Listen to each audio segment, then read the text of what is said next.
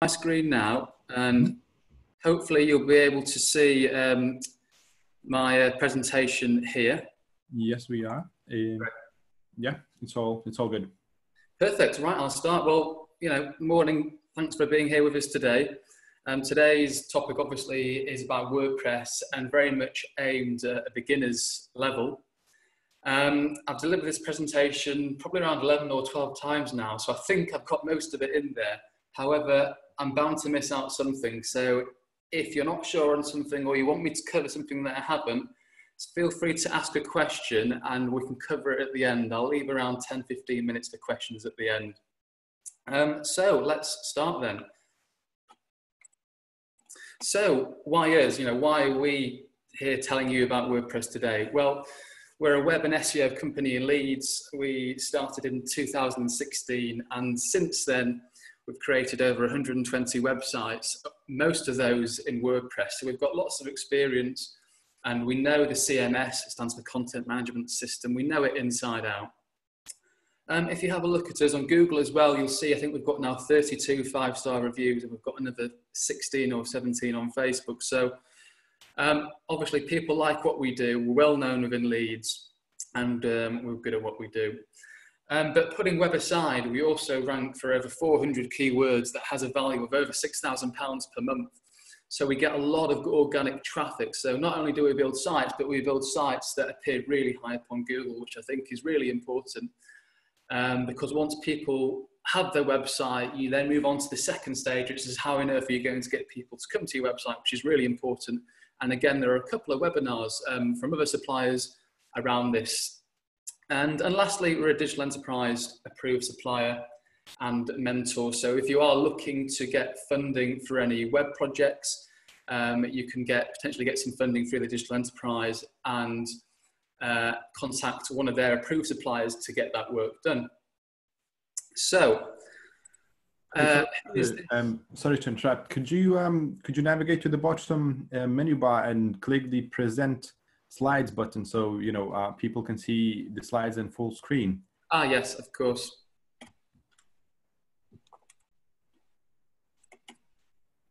Okay, lovely. Thank you. yeah, let me get to where I was. Right, so um, who is this presentation for? So first of all, it's for anyone who wants an introductory level of WordPress. Uh, maybe you've, you know, uh, tinkered around with WordPress before, or maybe you haven't even been inside the dashboard before. You don't have, you know, you don't really know what to expect. So it's a, it's a very kind of beginner level overview of WordPress. And that being said, it's perfect for business owners. So if you're a business owner and you want to know a bit more about your website, or maybe you don't even have a website, then it's a great place to start. Um, webmaster is a bit of an old school term. Um, but whoever is in charge of your website in, in, in your business, it's great for them. Even if they don't really have that much experience within WordPress, it'll be a good refresher for them and maybe a bit of an eye opener on what other things they can do also.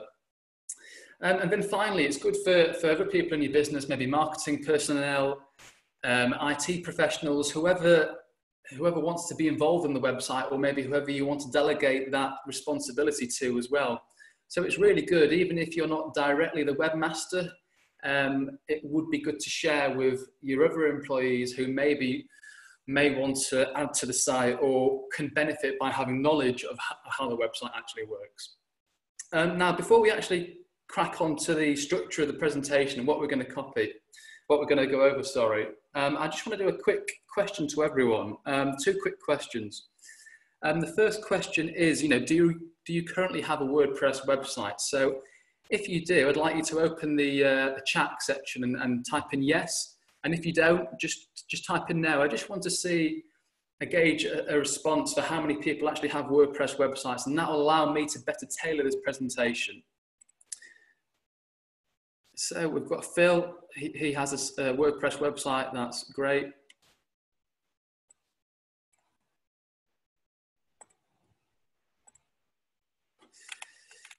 We've got lots of yeses, that's really good. A couple of no's.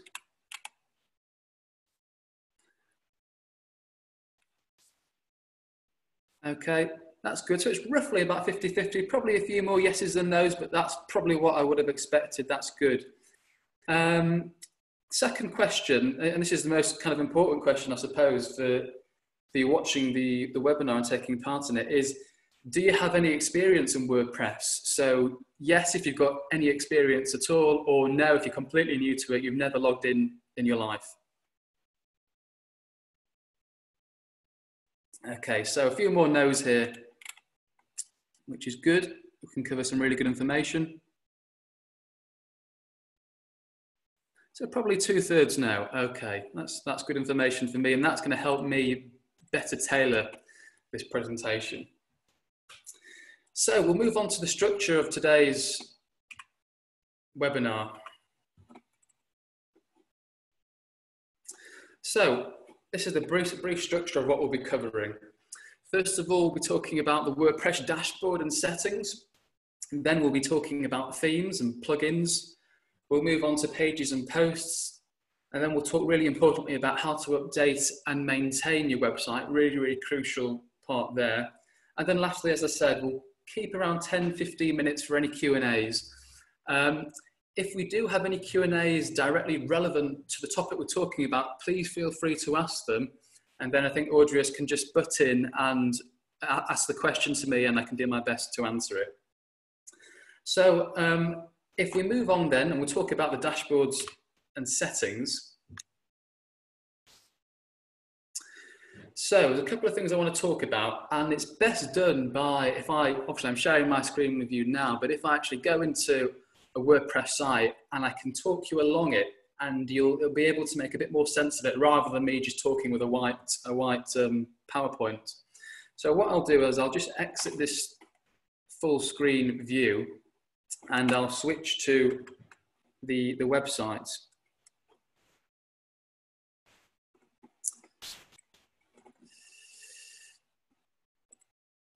So this is the WordPress dashboard. So for those of you that are not familiar with WordPress at all, this is the dashboard. So when you actually log into WordPress, this is kind of what you'll see. Now, each dashboard will be slightly different. Um, it all depends what software you're using. Uh, again, we'll come on to software immediately after we talk about the dashboard and some general settings. Now, at a quick overview, you can see we've got a column on the left-hand side here where we can detail lots of different things from pages all the way through to settings that's further down. If we scroll down, we'll see more, more things. So most of what we do in WordPress originates from the dashboard. And again, most of it we access through this left column here. There are, as you can see, there's a top bar here where we have lots of other little settings as well. This depends on what plugins and then what themes you use, which again, I'll come on to very, very shortly. Okay, so once you're logged in, you'll find something like this. Now, if I just go back to the presentation, we've, we've looked at the dashboard. I want to talk a bit about permalinks. Well, what are permalinks? If we scroll down here, we'll find settings. And if we hover over settings, we'll see an option for permalinks here. I'm just going to click on it now.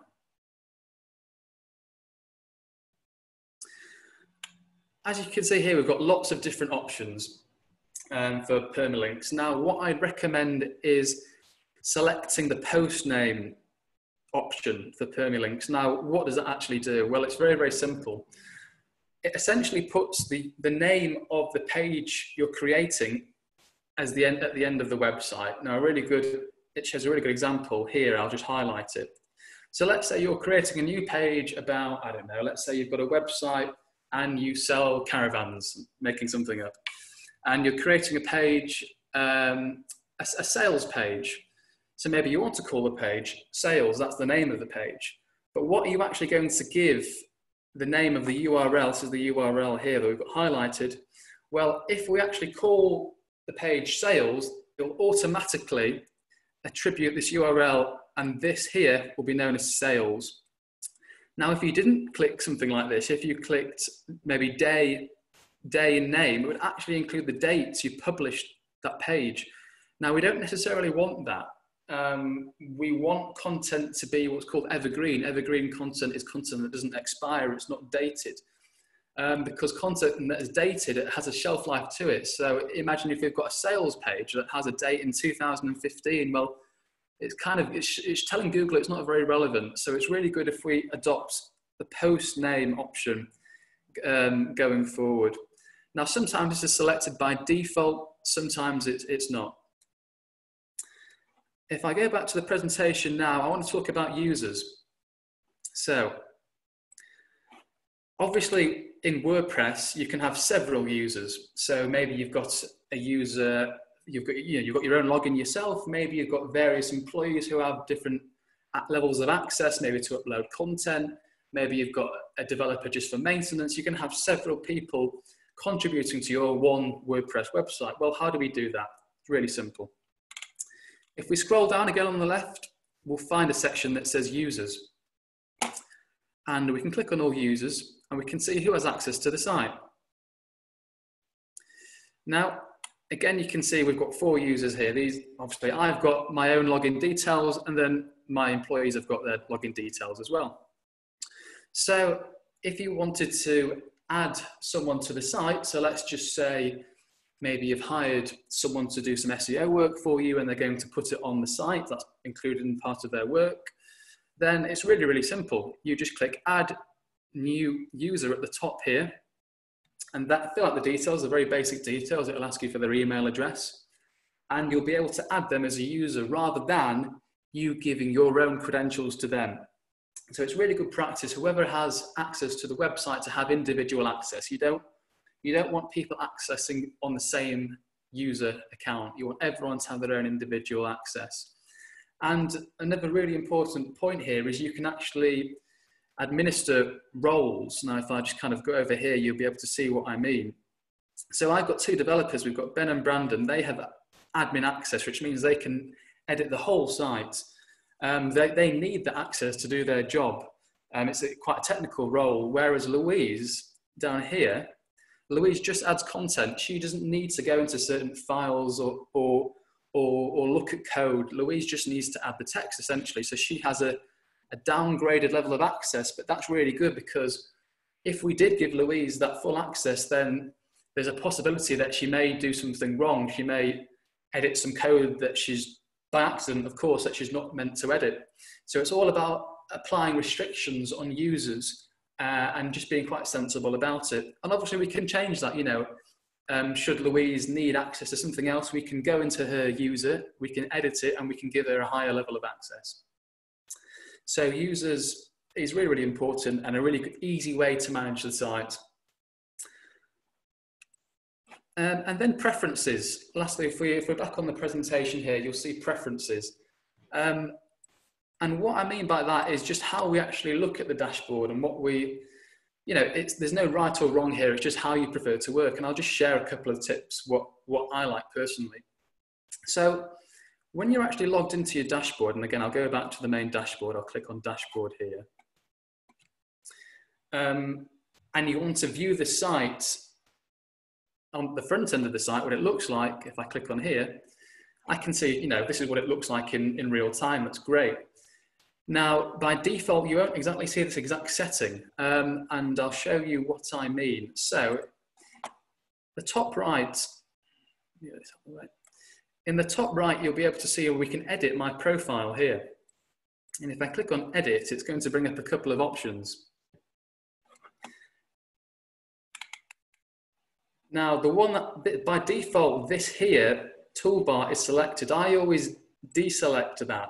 Um, and the reason why I deselect this toolbar setting here is because if I was then to view the website, it wouldn't be as a user would see it.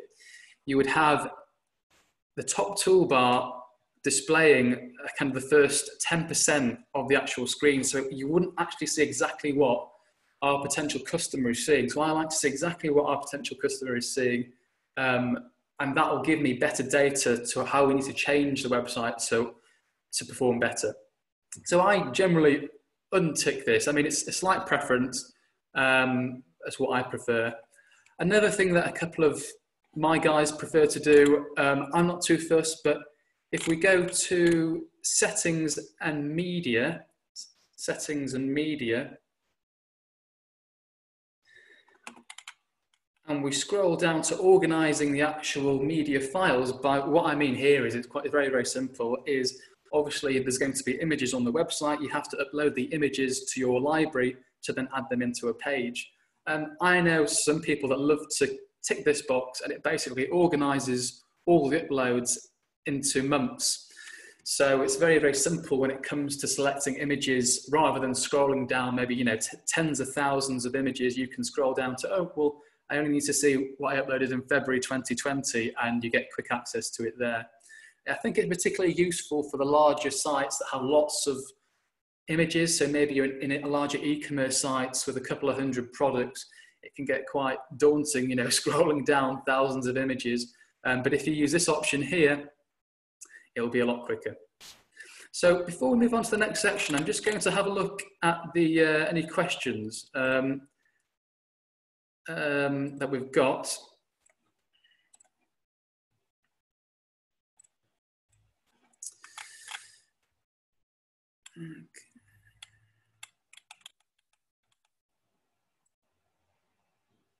Okay, so we're going to move on. So it doesn't look like we've got any, any questions so far.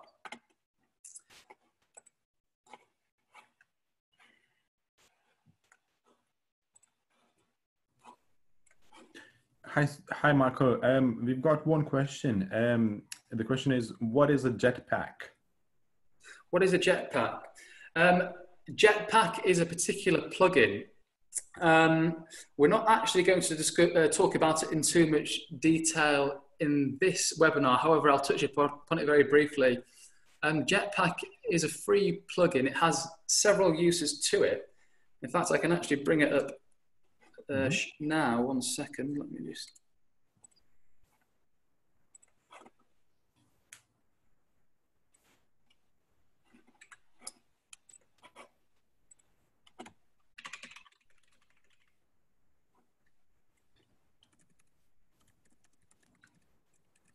The Jetpack is often it often comes with various installations, and it's got several uses to it. Again, it's completely free.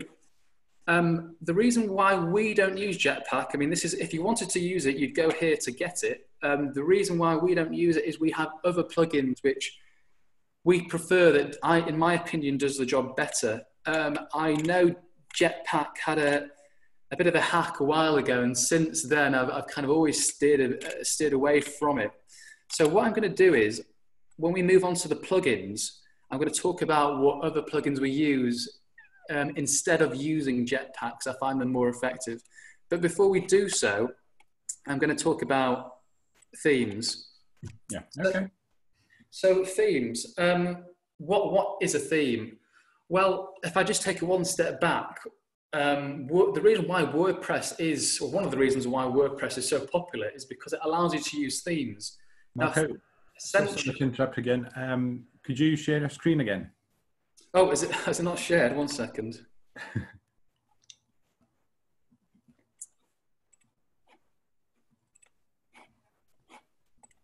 okay, you should be able to see it now. Yep, all good. Okay, good. Sorry about that. Um, right, themes. Um, so yeah, there's themes is essentially a almost a template that you're using to create your website from. And the massive benefit, and one of the reasons why WordPress was, is, is been taken up so well, is because it dr- dramatically cuts down the build time. So if you can imagine, you know, uh, 15 years ago, we had to almost make it from scratch. Themes were, were, were very difficult back then and, and, weren't as widespread as they are now. So it used to take months to build a website, whereas now, if you've got a theme, you can instantly pretty much half your build time. So rather than take months to create a website, it can take weeks. And that's one of the reasons why WordPress is so popular. And obviously, WordPress is open source and free software, which has helped too. Um, now, there's two types of themes. There's three themes and premium themes. As it suggests, the free ones you don't pay anything for. And there's premium themes where you pay a small amount for and you'll normally get a bit more in return and you'll also get some level of support as well. So if I just uh, touch upon them quite briefly and then um, show you kind of where to go um, to get free and to get premium themes. Um, so free themes, in general, I'd avoid them. The reason why I'd avoid them is because a premium theme, they only cost around £50. So it's, it's it's very it's a very minor investment for a premium theme that's to be honest well worth it you'll get premium plugins included and it's well worth the price um, so i would if you can i'd avoid three themes. Nevertheless i will still show you where to get them from. Um, premium themes are really really good. I mean there's tens of thousands to choose from.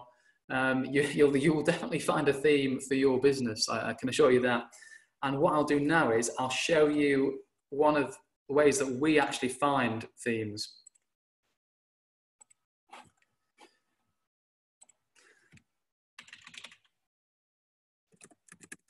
So there's a website called ThemeForest. It's themeforest.net.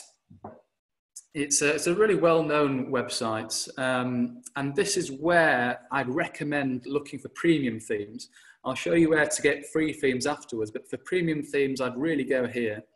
Um, so what I'm going to do is I'm just going to copy and paste this and pop it in the in the chat box if I can find it. Um, here we go.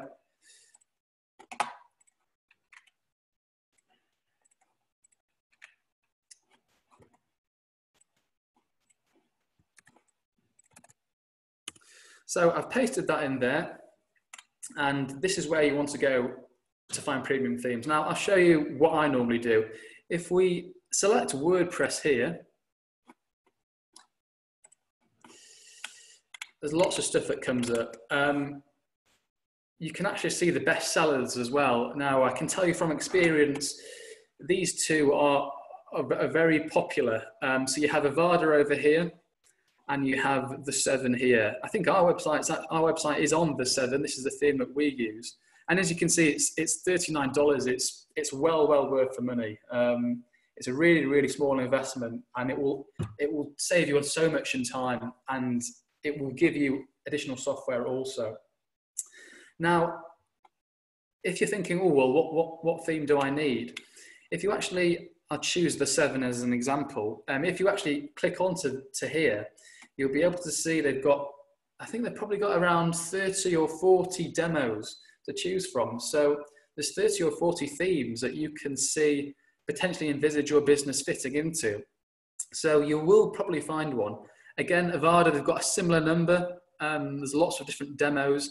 So they'll have different themes of different types of businesses, whether that be, you know, dental, whether that be, you know, something to do with pets and animals, or maybe whether that's to do with, e- you know, e-commerce. They'll have lots of different demos. But if you didn't find what you were looking for from these more popular uh, developers here, you can just go to the search box. Um, uh, I'm just trying to think of one. Let's say you're an accountant.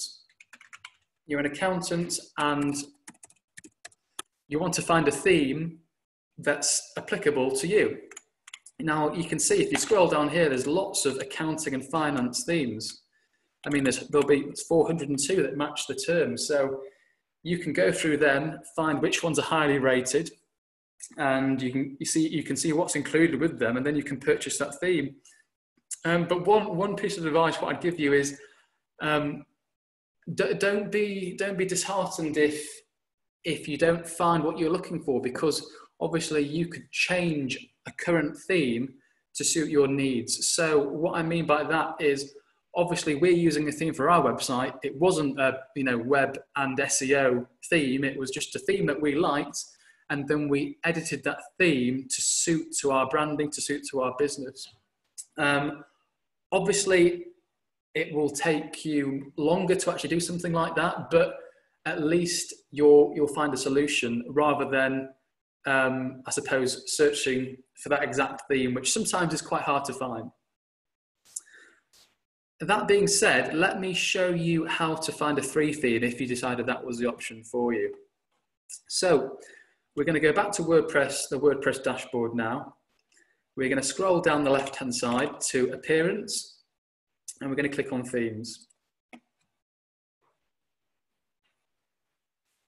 So you can see we've got the, the seventh theme active. Now, I've also got these themes here just to show you um, these are the default WordPress themes. So by default, you'll have the 2020 theme here. Now, I, I wouldn't necessarily use that. It's, it's it's not great, I'd find a premium theme that fits your business and use that. Um, but there are default options here, so I'll delete these after this presentation because we don't want various themes sat there doing nothing. Um, now, if you wanted a, free, a free theme, if you click on the Add New button here by themes,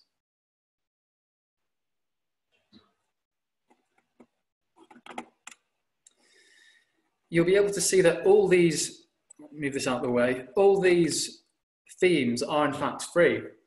So again, you could put something in the search bar. It may not pop up because there won't be as many themes here that, than there will be on that website ThemeForest that I gave you.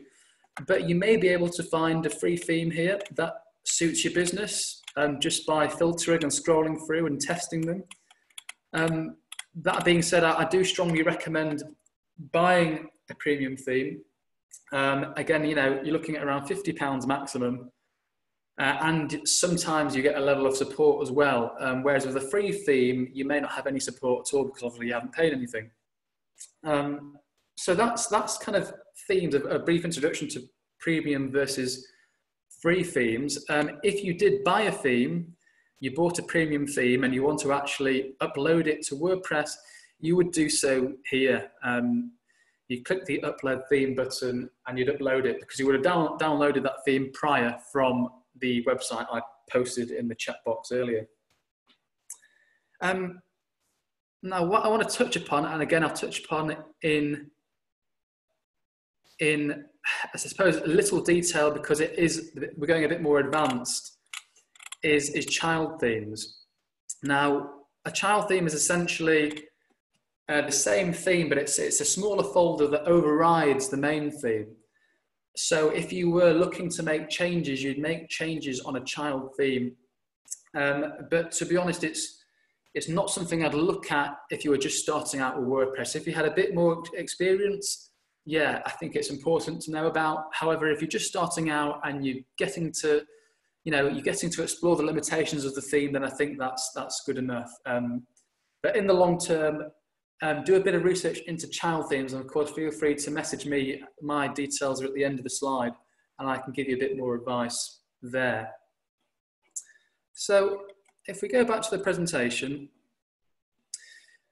I'll see we've missed out something slightly CSS. Um, CSS, if again, if I go back to WordPress, and I'll go back to the front end of the website. So CSS is essentially some code that we can enter to change the appearance of our website. And again, it's slightly more advanced. I wouldn't expect you, anyone who hadn't, who hasn't, you know, worked in WordPress before or even done a bit of coding to, to, to get into it. But um, once you're a bit more comfortable, I'd explore, I'd explore CSS just a bit because it will actually help you do a few things that maybe you can't actually change within the theme itself. So maybe you have to do a bit of manual coding just to do what you need to do because the theme doesn't have that option in WordPress, if that makes sense. Um, so yeah, again, I don't want to talk about CSS in too much detail along with child themes because they are sort of a bit more advanced. Um, but again, should you get to that point in time, again, feel free to let me know and I'll give you a hand and send you some good resources on how, how to learn some basic CSS. Um, and it's really not that hard at all. So before I move on to plugins, and I think this is probably where we'll spend most of the presentation, probably at least 20 minutes or so. Before I move on to plugins, um, I'd like to welcome any kind of questions regarding themes at all. Hi there, Marco. Um, I'll just have to nip out, um, so I'll be asking these questions to this round. Um, so we've got a question from Noriko asking, uh, in the user section, I can see 2FA status. What is this? Okay, that's a good question. Let's have a look. It could be uh, two-factor authentication. It probably is. Um, let's see. 2FA. Oh, not, it's not in mine. So I think it will be in, in whoever's answered the question. I think it will be in their own uh, WordPress section. Basically, it's two-factor authentication. So if you require your users to have two-factor authentication, you can essentially say, yes, I want them, or no, I don't want them. Uh, it's just an, an extra level of security um, so it's completely optional. Um, it's a good idea if they have access to that. Um, but I'll be showing you very shortly in the plugin section another way how we can implement a layer of security. Perfect. Thank you very much, uh, Marco. So our next question is uh, from Brian Yates, and it's it says you logged into your existing website dashboard. If you have never done a website before, how do you do that? Yeah, that's a great question. So first of all, you need hosting. So um, again, if you if you're stuck on hosting, please feel free to send me an email at the end, and I can certainly point you in the right direction. Um, so once you've actually bought your hosting account, many host hosting providers these days have what's called an auto installer. So it's really simple now. Um, simply do it. It takes a minute to install WordPress in your hosting area, and once you've installed WordPress, um, you will have a link to log into your website. Um, but obviously, you won't have a link to log into WordPress until you've installed it. Um, we'll come on to, onto this shortly as well in the security section. Um, but I suppose the answer is we, uh, what, what you need to do there is get your hosting, install WordPress, and once you've done that, it will tell you how to access the site. But what I'll do very briefly now is if, I, if you can see at the top of my screen, I'm going to highlight a part of the URL. Now, by default, if you want to access a WordPress website, all you do is you put forward slash WP admin at the end. Now that's for, that's the default setting. We can change this. We can actually hide this login URL to obviously a secret URL that stops people from trying to get into the website. We'll talk about very shortly. But that's that's how you would access your website from from the get go, from that installation at, at the host level. Perfect. Thanks very much, Marco. Um, we've got a couple more questions. You still okay for these? Yeah, of course. Um, perfect. So Julie Twist asks, um, can you explain the coding needed to change the footer uh, so it doesn't show the WordPress theme and to be able to put your on contact slash um, TNS links, please?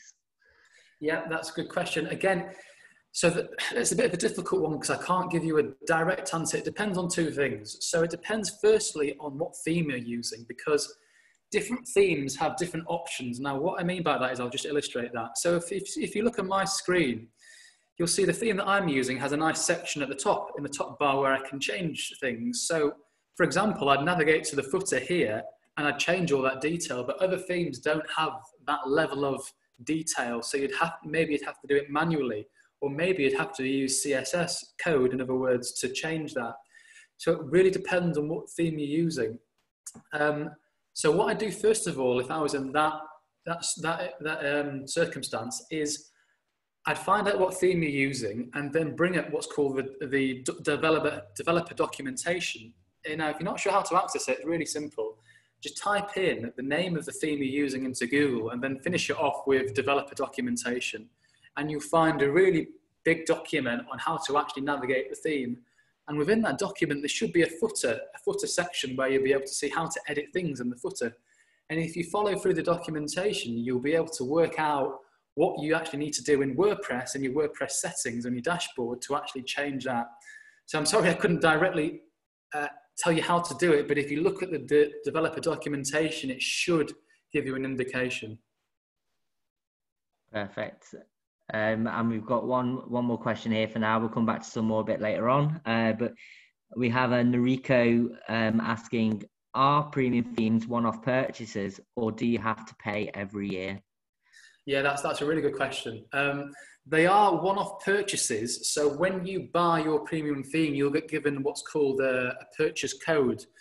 Uh, that, that will allow you to activate the theme. So it basically stops you from from having the theme on various websites. You're only allowed it on one website. So you actually buy the license. Now, uh, most of the time it's just a one-off purchase of the license for, for the single website. However, what's, what's maybe worth doing is, is if you're not that confident and you don't have someone in your business who, who is able to provide you know, WordPress support, you can actually purchase support from the theme developer themselves.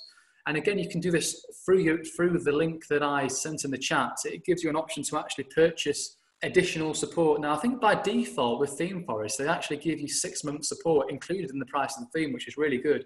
But obviously, once that expires, you may want to, you know, buy an additional 12 months support from the theme developer. And then if you've got any issues with the theme at all, you just simply open a support request um, provide you know the details of the issue, and the theme developer will get back to you and, and either fix it themselves or they'll tell you how to fix it. And again, it's it's it's very very cheap. Um, I'd be surprised if it was more than hundred pounds for for the additional twelve month support. So I hope that answers the question. Perfect, Marco. Thank you very much. And then uh, there's two very similar questions here, which I, am going to combine from Colin and Phil. And it's um, if you have a WordPress e-commerce website, or um, you know, how easy is it to change the theme? Um, oh, that's, that's, a tricky question. Um, it's I, I wouldn't recommend changing themes. So what you've got to do is, in the first instance, is see what theme you like the best. Especially if you're using a free theme, you can you know you can chop and change in the initial stage, but don't. I wouldn't start building your website, you know, building pages, building products, and then change a theme because you'll, you'll most likely than not, you'll find the new theme you're installing won't be able to portray the pages in the same manner with which you've built them already. So um, what I do from a strategic point of view is decide on the theme first before you even build anything at all on the website because it's very, very, it, it's difficult to, to switch themes once you've already started to build and especially if it's an e-commerce site as well because obviously e-commerce sites take so much more time to build than just a standard informational site. Perfect. Thanks very much, Marco. I'm free to carry on. We'll get some more questions a bit later on. Great. Cheers, Rory. Okay, so we're going to move on to plugins. So if I just bring this up here, I'll go back to the presentation. So plugins, what are plugins? Uh, they're essentially pieces of software. So we already spoke about Jetpack before. Jetpack is a plugins, a plugin. Now plugins have different functionalities. Um, and I've just listed some really useful ones here that, that I've kind of come to just by delivering this course and by speaking with people who are new to WordPress. And these are a couple that I recommend. And I'll talk you through each one in a bit of detail and tell you their purpose. Um, so essentially we've got the first one, which is coming soon. It's a coming soon plugin. So let's just say you're building your first ever website.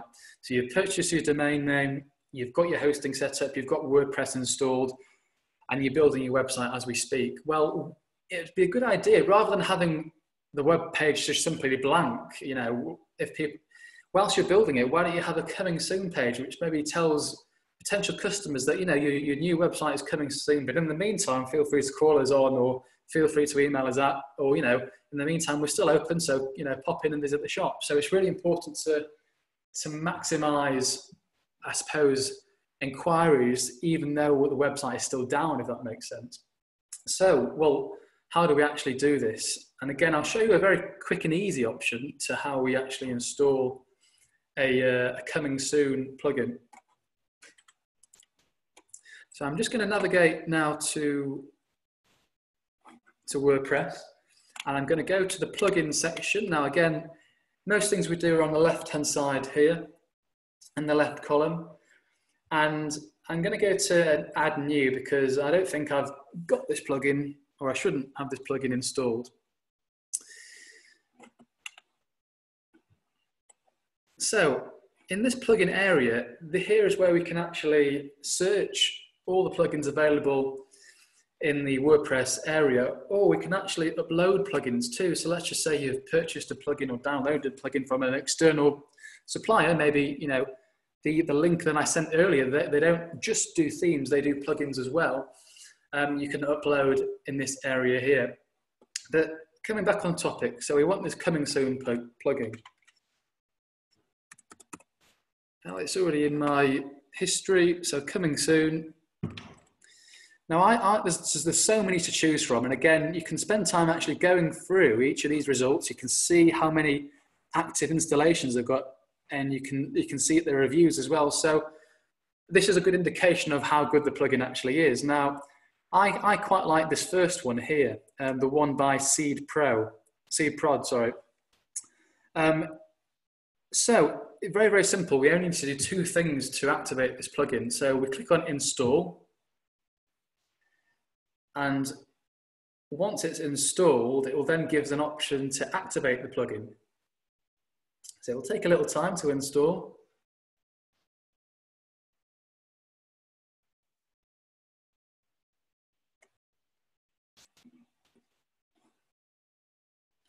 As that's installing, what I'll do is I'll just, oh, it's done now. So we'll click activate. So two clicks, really, really simple. And that's the same for every single plugin that we want to install and we want to activate. So you can actually see how easy it is to add new plugins to our WordPress website. Now, I suppose whilst we're doing this, a quick word on plugins is um, it's very, very easy to go overkill on the plugins. And what I mean by that is download every single plugin in sight. So you'll have, you know, 50 plugins on your website. Now, I, I strongly recommend not to do this. The reason, two, two reasons why it's a bad idea is because a, it's going to slow your website down. So if you're loading 50 plugins, if your website's trying to load 50 plugins, when someone comes to it, it's going to take a long time to load. Uh, and obviously, we want a really fast website. We want a website that loads in under a second or two. So that's firstly why I'd recommend not having lots of plugins. And secondly, for security, which again, I'll come on to at the end of the presentation when we talk about updating software, but security reasons, if we've got 50 pieces of plugins, essentially, which is 50 pieces of software on our website, we're more vulnerable and more susceptible to any hacks. But don't worry about that, I'll talk about that at the end. So again, you can see this is, this is what the plugin page looks like. It directs us to this page where we can now configure the coming soon plugin. Um, so again, let's just say you're building your website. I'd probably consider checking this box here, enable maintenance mode. Um, so you can see your website when you're working on it, but everyone else can't see it. Uh, and again, you can populate these, these fields here. You can put, you know, you can add your logo, you can put a bit of a headline, you know, new website coming soon. You can add a little bit of a message, maybe put what your contact details are or opening hours, just to keep those customers, just to keep those inquiries coming through whilst your website is under construction. I think it's a really good idea. Um, this is a very basic level. Again, there's lots of different coming soon plugins. Ones where, you know, premium ones where you have to pay, again, not much, but maybe 20 or 30 pounds and you get a really nice, slick um, coming soon page that maybe has something like an email capture so you can capture people's emails, um, especially if it's an e-commerce site and, you, and you're building an e-commerce site to launch a new product, you may want to capture emails and then you can send an email out once your website is live, which is a really good idea. So what we'll do now is we'll go back to the presentation and we'll see what the next plugin is we want to talk about. So the next plugin is a security one, iTheme Security. Again, security is really, really important with WordPress. Um, it is generally a secure CMS, stands for Content Management System. It is if you know what you're doing. Um, and again, in the last section today, we'll talk about updating and, and maintaining websites to ensure that we're being safe in what we do and we're minimizing our risk. Um, but obviously, it's important to have different layers of security on your website. And, and that goes for everything really, everything from your maybe your domain name to your hosting account to your WordPress account, everything needs to be secure. So simple things like your username and password. First of all, make sure they you know they're difficult passwords, not your name one two three. I mean, we've inherited several you know clients over the past couple of years, and the passwords are very very obvious. And you know we, that's the first thing we do. We change those uh, make sure the difficult passwords and don't store them in your computer in a Word document called passwords. Make it as difficult as possible to, for someone to actually find such credentials. Um, again, from a hosting point of view, there's lots of different things you can do. We spoke about two-factor authentication earlier, which is a great idea. So maybe if you if, if it prompts you to get a text to your mobile and then you put in the code from the text in, that's, that's, that's great. You know, it prevents someone who doesn't have your mobile access to your hosting account or to the website. Um, so the, again, there's lots of different security plugins. Some are free, some you have to pay for, but this is a really good free one, which I think, to be brutally honest, is well worth it. And, and if you're doing things in the right manner and you're proactive with your updates and you're proactive with your maintenance, I think this will suffice. So we'll go back to WordPress now and we'll go through iThemes security.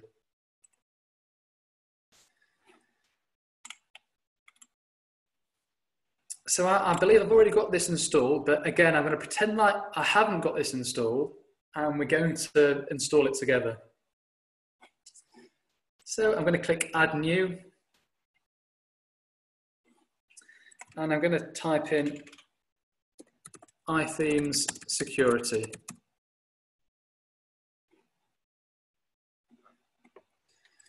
Okay, as you can see, it's already active, but if it wasn't, just two clicks, one click to install, one click to activate. And once you've activated it, it will direct you to the plugin page and it will give you a couple of really simple steps just to follow to secure the site. You'll have to put in your email address and then you'll get an email essentially saying that your site is secure. Um, so what I'm going to do is I'm going to navigate to um, to that page that you'd, you'd see if you had installed it and activated it. It looks something like this. Now, as you can see, there's lots of different settings. As if we, if we look here, there's 34 different settings. Um, there's no need to worry about the majority of these. Um, simply by activating this plugin and running the quick check that it prompts you to do once you're activating it is, is, is going to help. But we're going to just talk through a couple of more settings in a bit more detail now. So if first of all, if I click on all, as you can see by default, it only selects recommended here. If I click on all, now I can see all 34 variables. Now, if I want to click on global settings here, is, I'm going to show you three things, um, or two things, sorry. If I click on global settings here, now one thing that's really important, again, there's quite a lot going on here, so I'm just going to scroll down to the relevant part which is lockout whitelist. This is really important. So what this actually does is it will prevent you from being locked out of your own website. So essentially giving you that backup, because um, obviously if you're locked out your own website, that's no good. Now, there's ways of getting around this. If you are locked out, you can simply go into your hosting account, delete the plugin, and it will, it will stop you from being locked out. But, you know, we want to be proactive here. We don't want to be fixing issues, you want to be proactive. So if you simply just click this blue button here, which just says add IP to the whitelist, it will add your current IP. You don't even need, to know what your IP is, but just click on this blue button. It will add your IP to the whitelist. And if you click save down here, it will basically ensure that you won't be logged, uh, you won't be locked out whenever you access the website from your IP address. Now, one really important thing to note here obviously since COVID-19, a lot of people have been working from home and not been in the office. So a lot of people have forgotten to actually set this up from their home device. So obviously, if you know your password, that's great, but sometimes people forget and they get locked out. So if you are working from various different IP addresses, or in other words, various different locations, it's always good to revisit this area and add your current IP, and it will prevent you from being locked out. And we had a few calls about this in, in March when people were working from home. Um, the only other thing I really want to show here is 404 detection. Um, again, I've already configured this, but it, it, just it would just take one click. It would look like the one below it, enable. You just click enable here, and it will basically allow you to block people who are snooping around your website. So maybe they're looking for ways in and how to actually access the site. If you click enable here, mine is disabled, but if you click enable, because you won't have configured your plugin. Um, one other thing I want to show is here, hide backend. Now there's mixed, there's mixed um, opinions on this. I, I quite like it.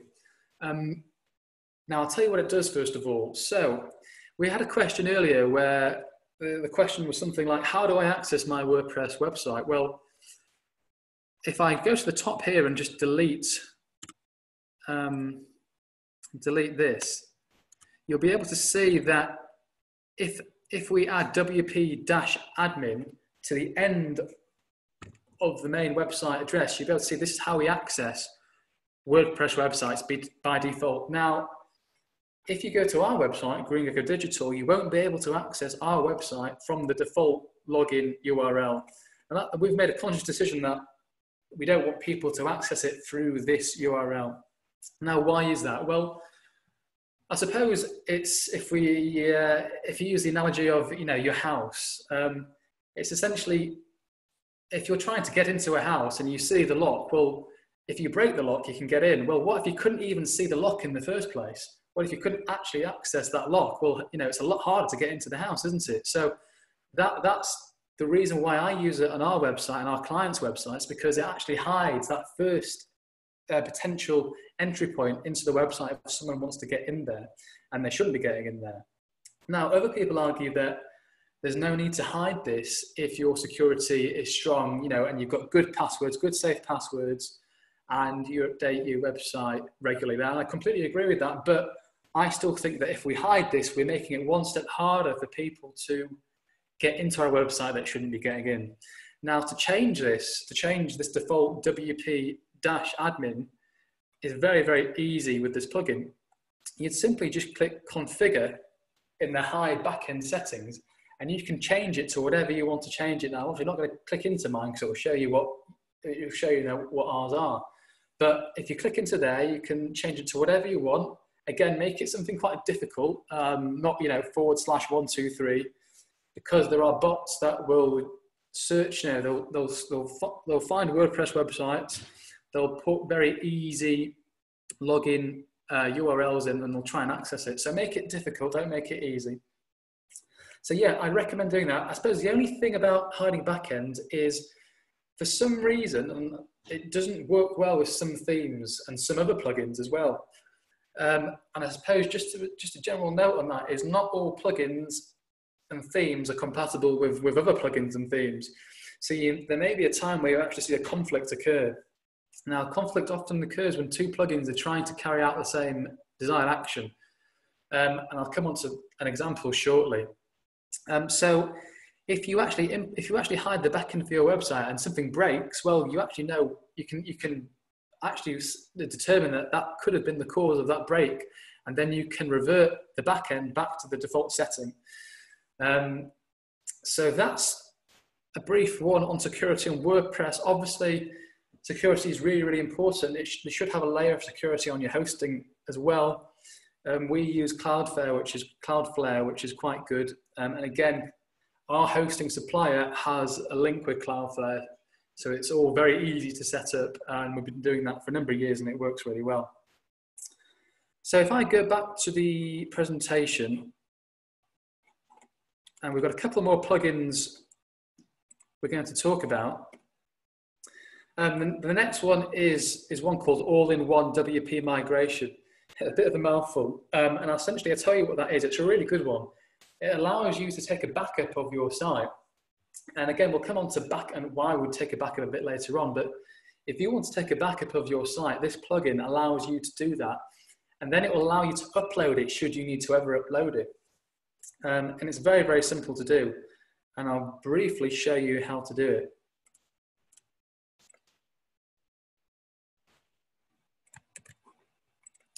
So really, really simple. We know what to do. We know how to add plugins now, don't we? So we go to plugins, we click on add new. We're going to type that name here into the search bar and you'll see it's here.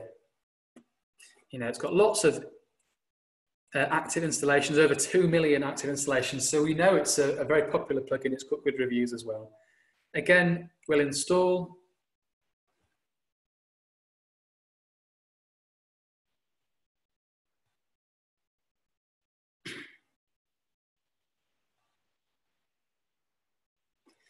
And as that's installing, you'll be able to see there's, you know, there's, there's probably hundreds of other plugins that all serve the same purpose that you could also choose from. Um, but I'm just showing you the ones that we work with and I, I like and trust. So we're activating this plugin now and it's really, really easy on how to actually use it. Now it's great for smaller sites. If you've got a really heavy, clunky site, then it, it, it, it is a bit difficult, um, but most sites it will be fine with.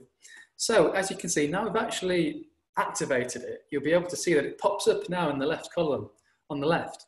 And if you want to export here and take a copy of the website, we can just follow the steps. So I can export to my file, so I can export to my own laptop, I can export to Google Drive, Dropbox, whatever that may be, and I just follow the process and it starts to download. Um, likewise, if you wanted to upload a backup, so let's just say you've done something wrong luckily you're taking that backup, but you want to revert back to that backup you downloaded, it's the opposite. So again, if we scroll down, we can import. And once we've imported that backup, you know, we can choose where we're importing it from. Are we importing it from a laptop, Google Drive, Dropbox, whatever it may be, and we can restore the website back to that version that we liked before. Um, another really good plugin is Tawk.to. Um, you may have actually heard of it. It's essentially live chat. Now, I can't, I can't recommend this enough. It is very, very effective and it's free as well. It doesn't cost a penny. And it essentially allows your users to chat in real time um, over your website to you.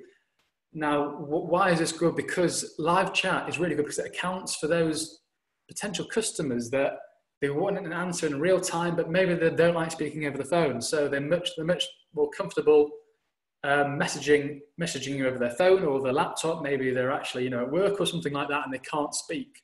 So it actually accounts for those customers that wouldn't have actually been able to inquire originally. But it's really good technology.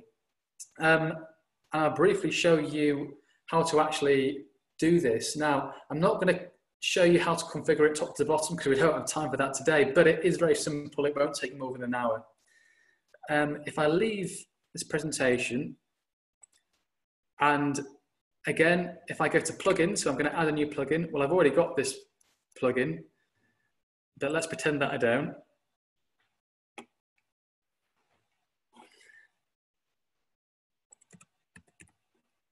Again, we're going to put Tawk.to in the box or just talk. It will still pop up. And you'll see it's this one here. We've already got it active. Over 200,000 active installations and it's got good reviews as well. Um, this is what you'd activate and install. Now, it's very, very simple to do. It doesn't actually require any coding as well at all. It's very, very easy. Um, and if, if, I can try and show you what it looks like on this end, um, if I can find it.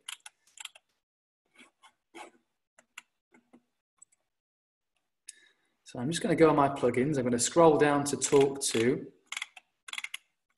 settings.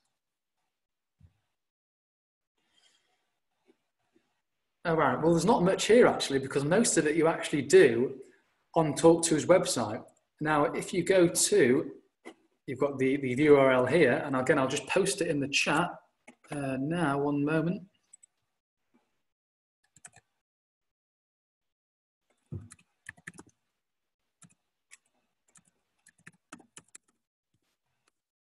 I've just posted that in the chat.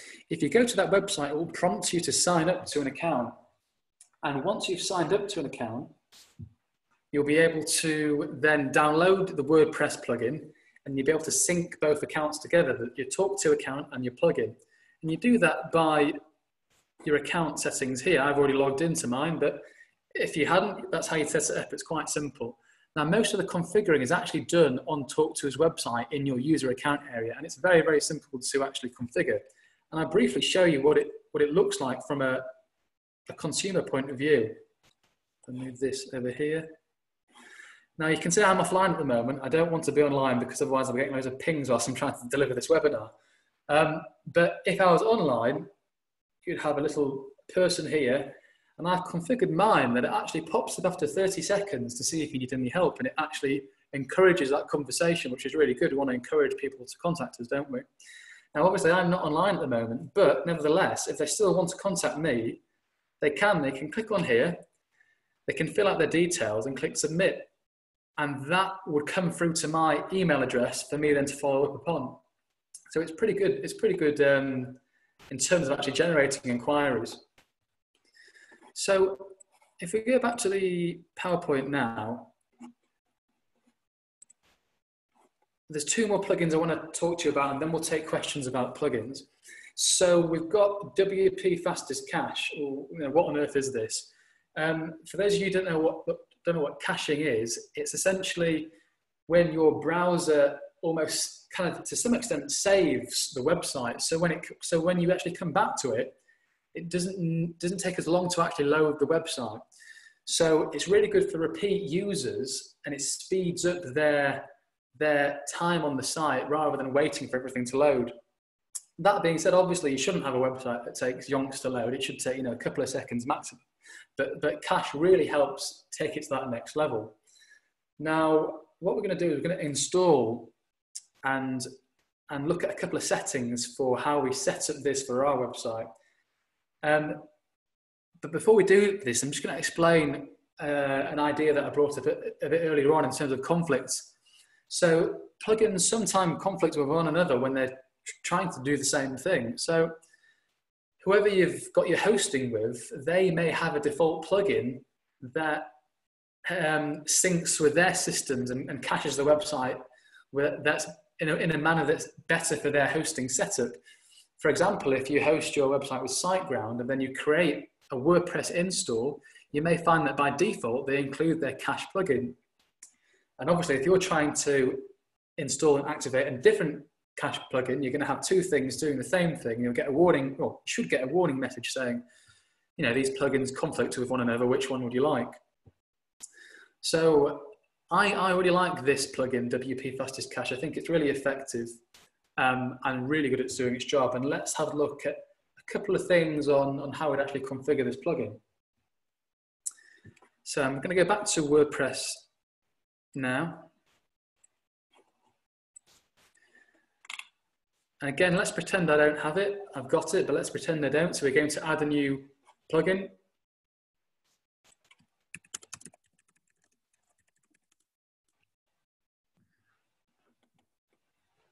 So we're typing in the plugin name into the search box. As you can see, it's already active, over a million active installations, and it's got five stars, a lot and lots of reviews also. Um, there are lots of other different cache plugins. Some of them are pretty good as well. Um, so, you know, if you do want to find the different different option, then then feel free. But this is definitely really good, and it does the job, and it's completely free. So, how on earth do we set this up? Can get a bit technical, but don't worry too much. I'll show you how to do it. So, again, once I've activated the plugin, it should pop up on the left-hand side. If it doesn't pop up on the left-hand side, you can you can actually probably find it through settings here. But this one has. It's a picture of the tiger here. That's how I remember it. So it brings you to a default settings options page.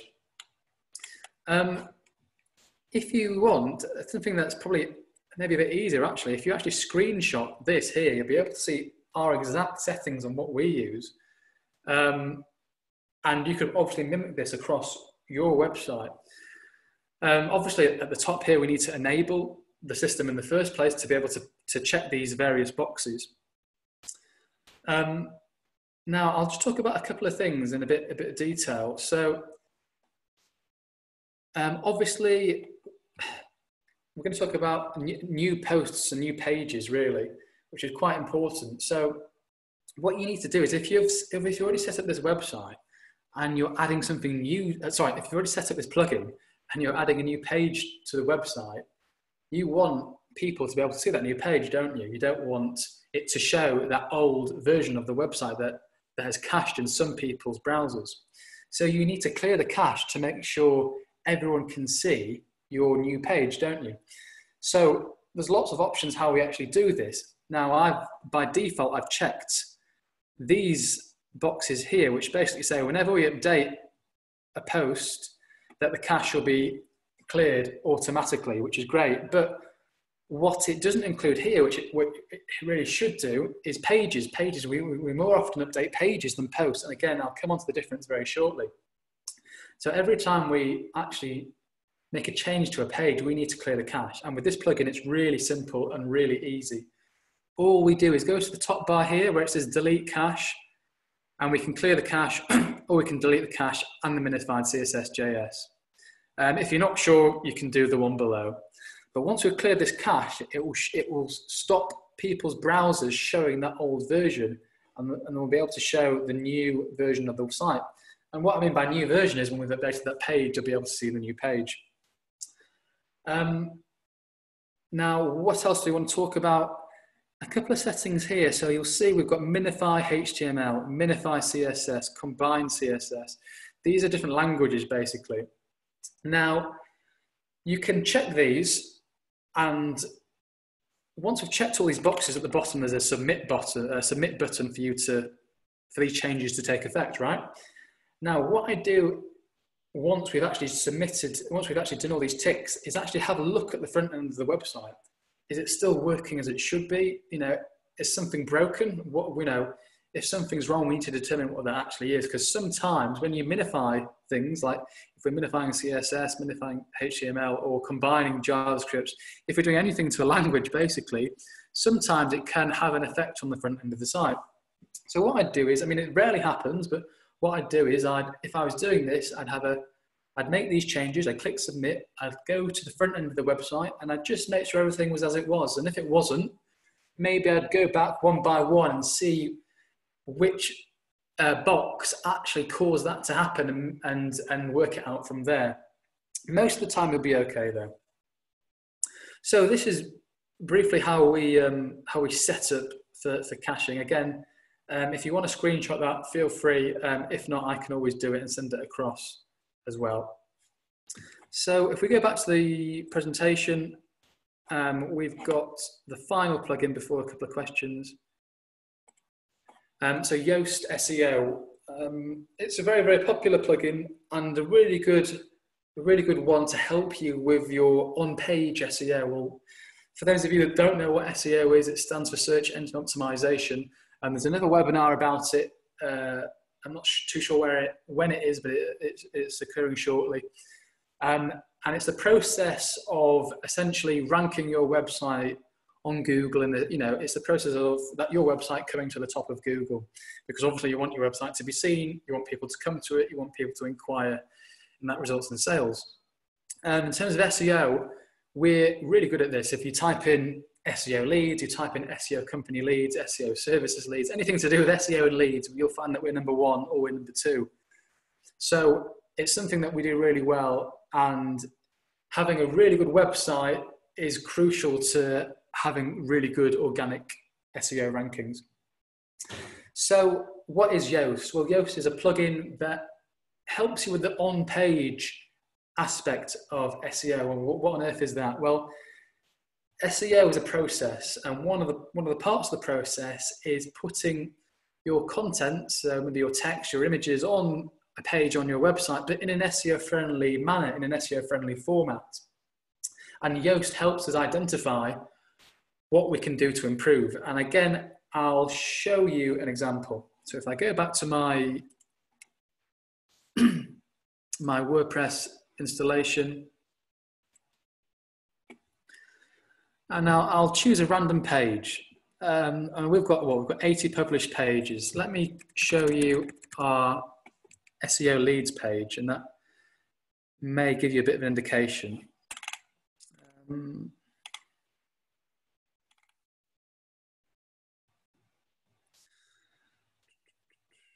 I believe it's this one.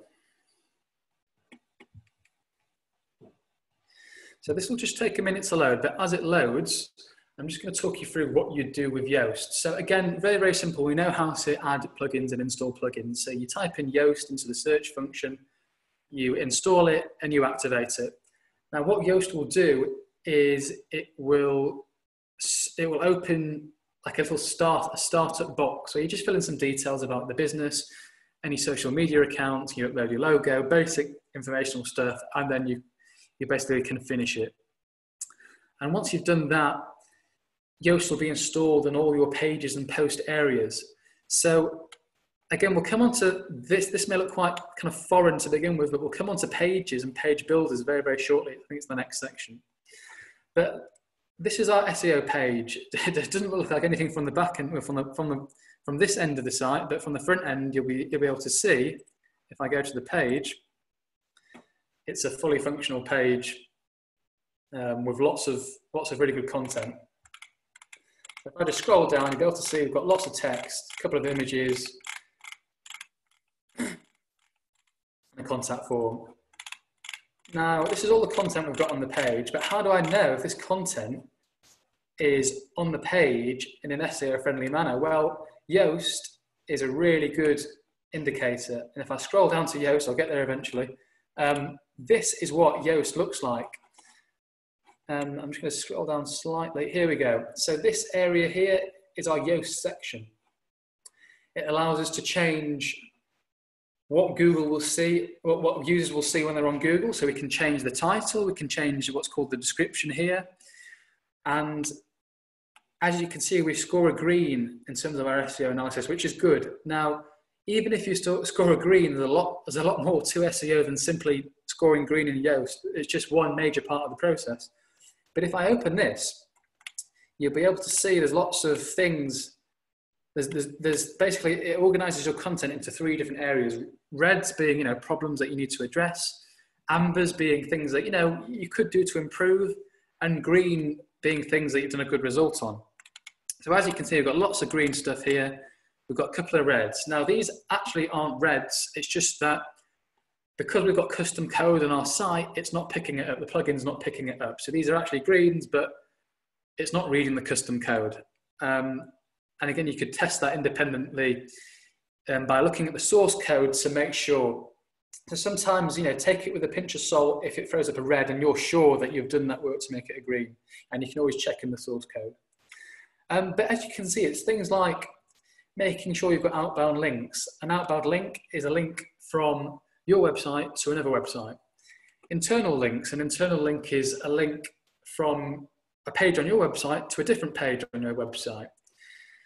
And keyword density, so having the keyword listed on that page a certain number of times, you know, if you're looking around 3%, so our keyword was found 16 times, I think our content's around 2,000 words, so that's a good, a good ratio. Um, so there's lots, I mean, uh, again, I can do a whole two days on this, and there's lots of different things that you need to pay attention to. But Yoast is a really good way of, of, of making you aware of what you need to do. For example, if the keyword density wasn't good enough, Yoast would say, right, well, you know what? You've only mentioned the keyword three times, it's a red, and you need to action that and mention it more times. So I'm just conscious of time. We've still got to talk about pages and posts and updating. So I'm going to end um, the plugin section here and just welcome any, you know, maybe a couple of questions before we move on to the next section. Hi, Marco. Yes, yes, we do have quite a few questions. Um, the first one being, is a business account needed to download plugins? Um, my premium account won't let me download plugins. Um, could you help with that? Uh, yeah, of course. So um, it depends what plugins you're installing. So if you're installing free, plug, free, free plugins, which most of the ones I've shown you, I think all of them, the ones I've, I've shown you today are free. You shouldn't need to have any certain accounts. You simply, you can do that from your WordPress dashboard. Um, so again, if we go to plugins here on the left-hand side and add new, it shouldn't ask you to log, you know, it shouldn't ask you for any business accounts. It should be, you should be able to do it um, free of charge. However, if you are trying to download premium plugins, maybe on that website that I posted earlier, ThemeForest, then obviously you've got to have an account and you've got to pay for such premium plugins. Mm-hmm. Okay. Um, another person is asking, are you a Google partner? No, we're not a Google partner. um, all right. Um, next one, just one second. Um, I use 123reg and I think I could change to WordPress. Can you advise, please? Okay, um, I think you're talking, maybe mixing up two separate things there. So, one, two, three, reg. Um, essentially, I suppose I need to speak to that person individually. But what you could do on one, two, three, reg is you could. I don't know if you've got the website hosted with them, but if you don't, you can direct your domain name from one, two, three, reg to an alternate host, and then on that host you can install WordPress if you do have your hosting with 123 Reg, um, you can you can just ins- install WordPress. It's probably best if you message me um, at the end, and I can better direct your. Um, I suppose that's a very niche question, but I suppose mm-hmm. just a note on the Google Partner thing. It's very common for companies that do PPC, which is pay per click, to be a Google Partner. Um, it's not an area that we spend too much time in, therefore it's not worth our time getting that accreditation. But if you're a pay-per-click agency, then you certainly need that accreditation to, to get any meaningful work. Mm-hmm. Okay. Um, another one uh, regarding the plugins. Um, can you talk a little about the WordFence app, as there has been quite a bit um, in the news recently about hacks? Yeah, sure. So um, WordFence is basically just another security plugin. So it's similar to the one that we discussed, which is iTheme Security. And a couple of our sites do use WordFence, although I, I still prefer iThemes. Um, so your WordPress, uh, Word, sorry, WordFence is a good alternative. In terms of kind of hacks and, and stuff like that, we'll come on to that at the very end because at the end we're going to talk about how we update webs, our websites and how we essentially keep it as safe as possible. Mm-hmm. Okay, and uh, quite a similar question. So I have a, the WordFence security plugin installed. Is it equivalent to iTheme security, and what are the main kind of differences? Um, that's a good question. So both plugins, both iThemes and WordFence, they have a free and a premium uh, version. So you'll find that both versions are somewhat similar. Um, obviously, you can do a lot more with the premium one. However, I still I still believe that if you set up your website in the right manner and you're proactive with your maintenance, then you don't really need the premium one. It does help. Don't get me wrong, um, but if you've got a low a low risk site, maybe you're not you know you're not dealing with any money over the site. It's simply a, a five page brochure informational site. Then I'd argue that you don't need it. Mm-hmm. Okay. Um, all right. Another one is if I don't have a cache clearance plugin when updating the items for my sale in my e-commerce website, uh, will the viewer, uh, the visitor, still see the new sale items or will they see the old page without the new items? Well, that's a good question. Um, you'd have to, you'd have to try it. So, I mean, what I'd do anyway, if you're adding new items, I'd, I'd, just clear the cache anyway, just just to be sure. It only takes one second, and at least that way they can see everything that's new. Um, so I'd, I'd, probably just I'd do that and reassess, and you'll be able to, to see from then if it works or not. Yeah. Okay. Excellent. Um, the last one for, at the moment, um, we've got. I have the WooCommerce plugin installed, and the new version is available. And the new version is available. When I click update plugins, the following message comes up. This is a major update. Are you sure you're ready? Is it safe to go ahead with update, please?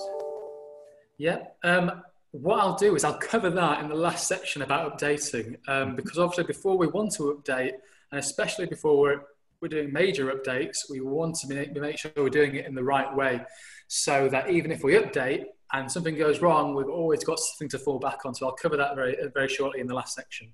Mm-hmm. Okay, and we've got one more. Um, does the cache clear the WordPress page 424? Um, I think that's the version 4.2.4. Not really sure, to be honest.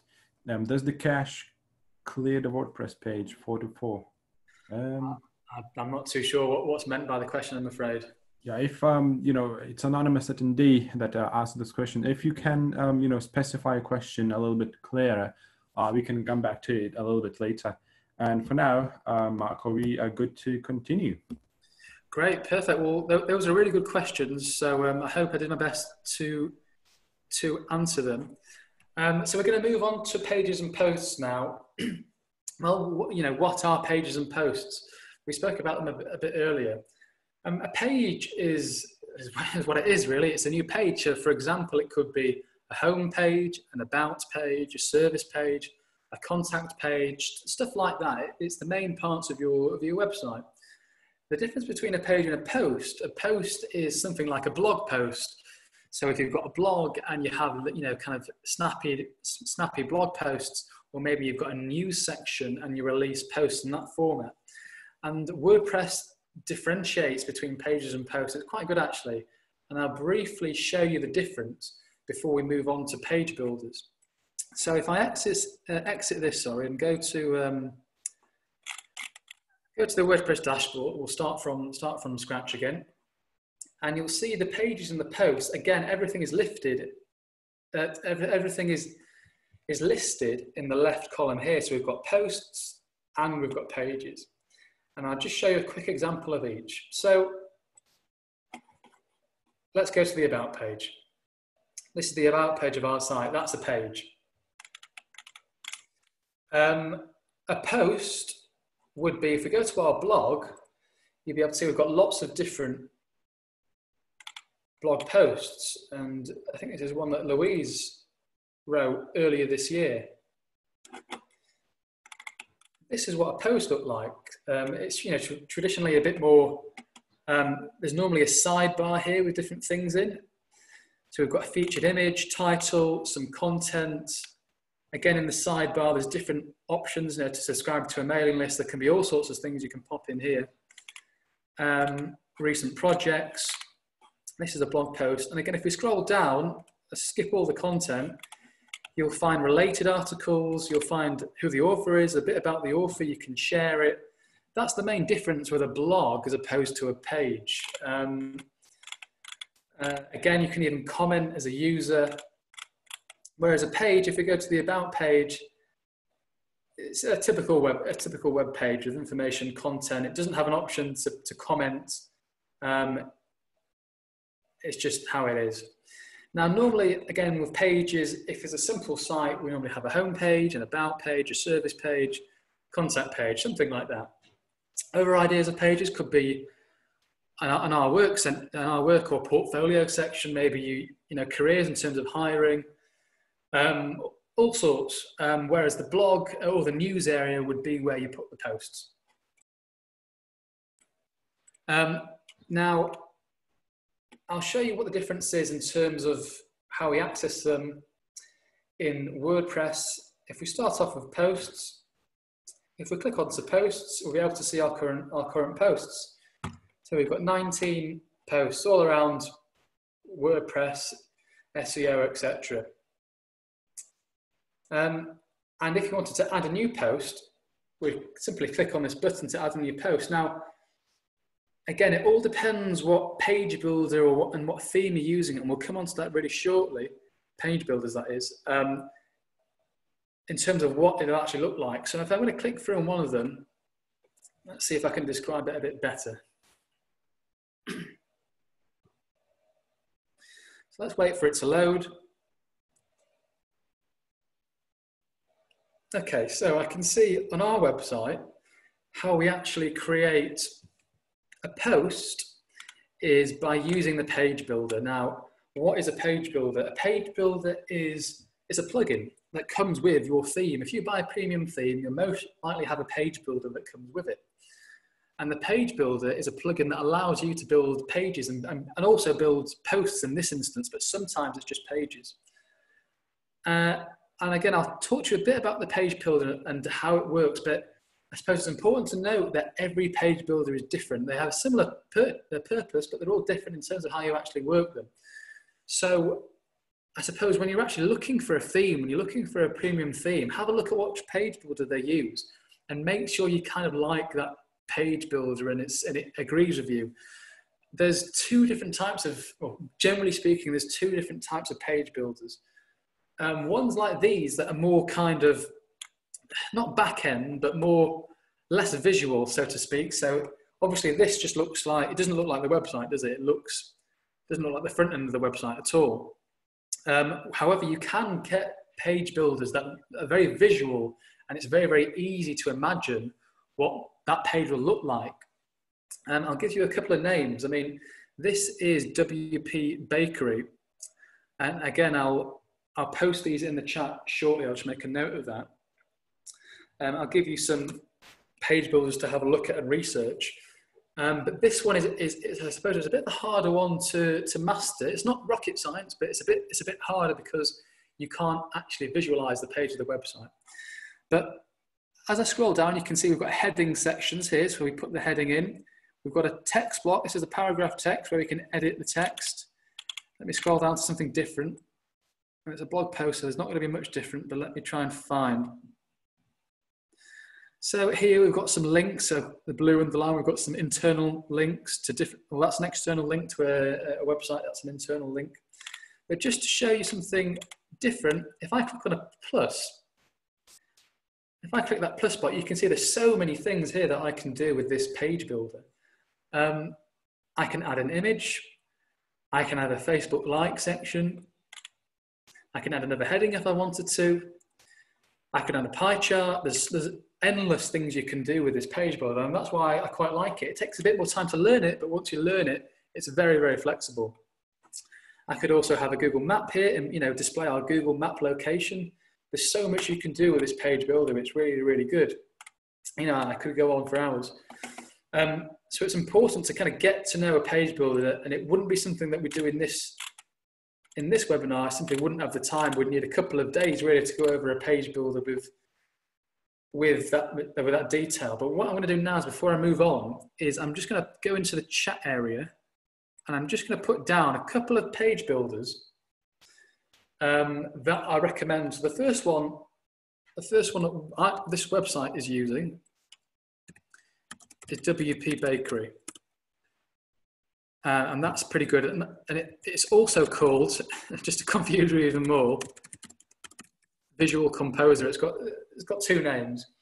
Now you'll find a lot of themes by default have this plugin attached to it. So when you actually download, when you actually, sorry, upload that theme that you've downloaded, you'll find that it comes with this.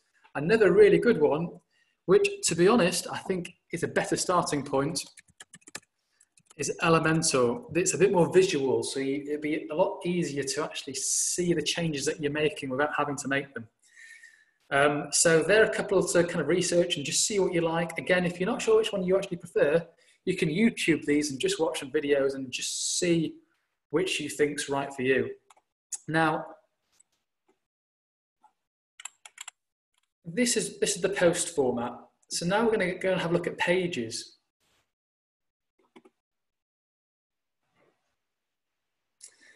Um, and I don't know, let's choose any page. It doesn't really matter, I suppose. Let's choose the first one that we actually um, see. Give it, give it a minute for it to load.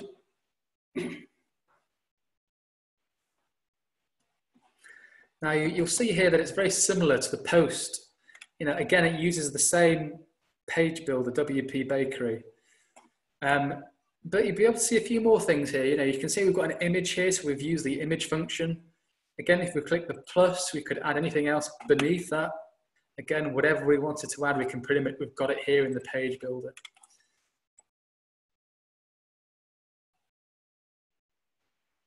So this is the difference between a page and a post. Again, it may not sound like much, and to be honest, it isn't much if your website is very kind of page orientated. But if you have like a, a website that is a news website, like almost like a, a publication house, something like that, then you'd have lots more blog posts as opposed to pages. But most websites have have more pages than posts.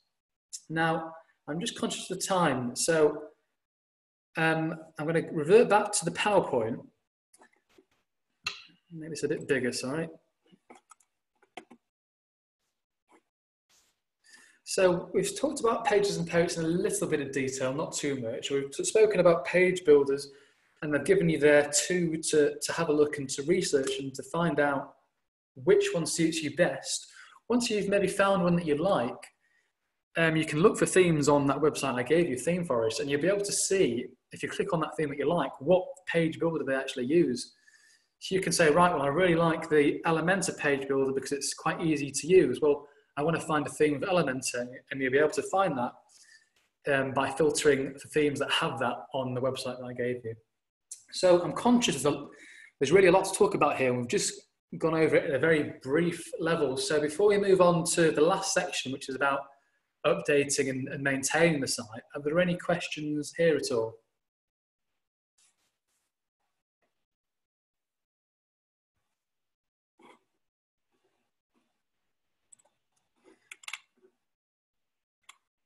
Okay, I can see um, I can see Paula talking about Beaver Builder. Um, if I remember rightly, when we, we inherited a site that had that, um, it's it's all right. Um, I know a lot of people do use it. It's not one that we like to use. Um, I suppose for us, if you put, put yourself in our shoes, it's a lot easier if we are specialists in one or two page builders than trying to master them all. Um, so it's always down to personal preference, really. I suppose just another note is some page builders are really clunky and slow, which has which means two things. Firstly, it's going to take you ages to edit the page, but secondly, it may take it may actually increase your loading time on your website when you're trying to load that page, which is a big no-no. So it's always about choosing a page builder that's not clunky, it's lightweight, and it's not going to slow you down. Um, I'm just going to scroll up here and just see if we've got any other questions. Um, so, Akala, it looks like you've got an issue with, with plugins. What we'll do is we'll address it at the end, but you shouldn't, you will not need a premium account to download plugins. Um, maybe it's set up in an incorrect way, but you definitely will not need um, a business account at all. We certainly don't have one. Right, so we're going to move on now to um, to the, the last section before the Q and A.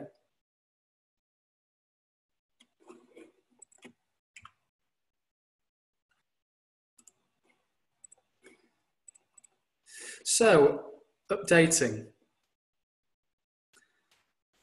Well, this is probably the most important section of the whole slide. Um, it's really, really important. Um, if you are wanting to go down WordPress, the route of WordPress to have your website, which I definitely recommend, I mean, our websites using WordPress, and we're at the top of Google for hundreds of keywords, and it drives us a lot of business. Um, you need to do it in the right manner. You need to ensure that you update your software at a timely manner, a minimum once a month. Um, and we're going to talk about the process and how we actually go about doing that.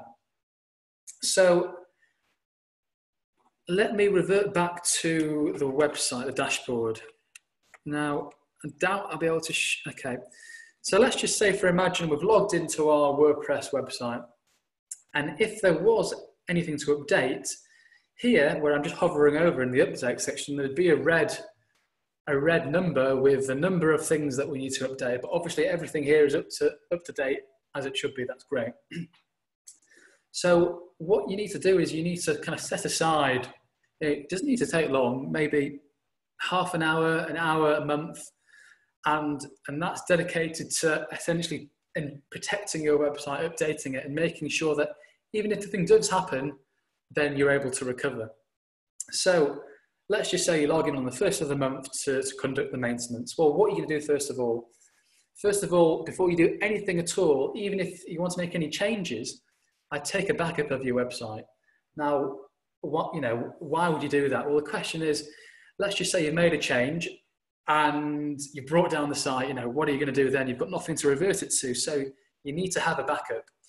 Now, again, it all depends how you set up your website. So, with our hosts, we we have an automatic backup taken less than once a day. So you know, it's backed up all the time basically. So if anything happens, we've got a backup to revert to. However, if you don't want to pay for that, then there's a free way of doing it. So if you remember earlier on, we talked about a plugin all-in-one WP migration where you're allowed to take a backup. Well, all you have to simply do is install that plugin, activate it, and take the backup. So then you've got a backup just in case anything goes wrong when you're updating your website, whether that be you're updating software or maybe you're adding a new page as well. So step, you know, rule number one is always to have a backup just in case it's good practice. I mean, I can't, I can't tell you the number of people that I've come across that they'll update something or add a new page and something happens, the website goes down and there's nothing to back it up to. And we have to dish out a backup from last month and they've lost an awful lot of time that they've invested in updating the site, you know, within that past month. So really important. Now, once we've actually taken the backup and we're happy, you know, we're ready to update, we're ready to add a new page, whatever, whatever that may be, we can do that. Now I'm going to try and replicate what you do to update a site because there are no available updates on, on our website. You click through to the update section here. We'll just wait for that to load.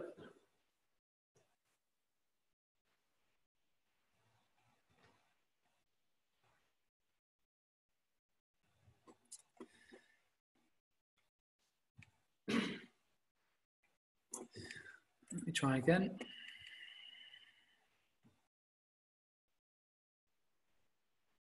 Okay, here we go. So as you can see, everything's up to date, which is great. This is where we want to be. Everything's up to date. Plugins are up to date. Themes are up to date. We've got the latest version of WordPress. Really good. Happy days. Well, let's assume that we had something to update. And this, you know, more often than not, if you log in on a monthly basis, you'll have various things to update. So once we've taken a backup, we can actually update these one by one. Now, what I do is the best practice is there will be a button for you to bulk update everything Um, would I do that? Maybe if you get to know those plugins better, you could take that risk. However, to start off with, I'd do everything one by one. And it only takes one click to update a plugin. It would basically just have something here and a button to update. So you click that button, you know, wait 30 seconds, however long it takes to make that update. Now, once that update is live and, and, it's, and it's taken effect, I then test the website. So let's say, I don't know, it was, a, it was an update for a contact form. So we had a plugin for a contact form. We've just updated it. Well, you know what? I'm going to go to the website. First of all, I'm going to clear the cache so I can see the most recent version. And then I'm going to test the contact form, make sure that contact form works. And if it works and the website looks good, you know, I'm going to be happy and I'd move on to the next update and just work through one by one.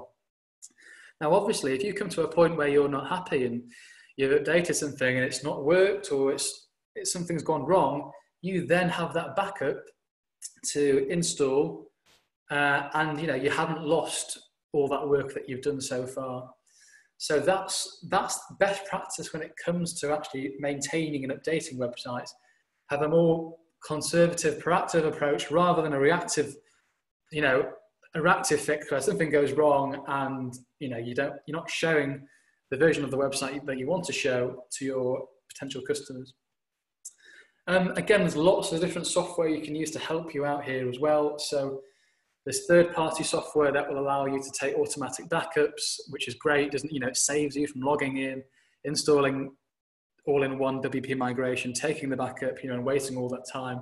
You know, if your time is you know scarce, then you can get third parties to do that for you on your behalf, which is great.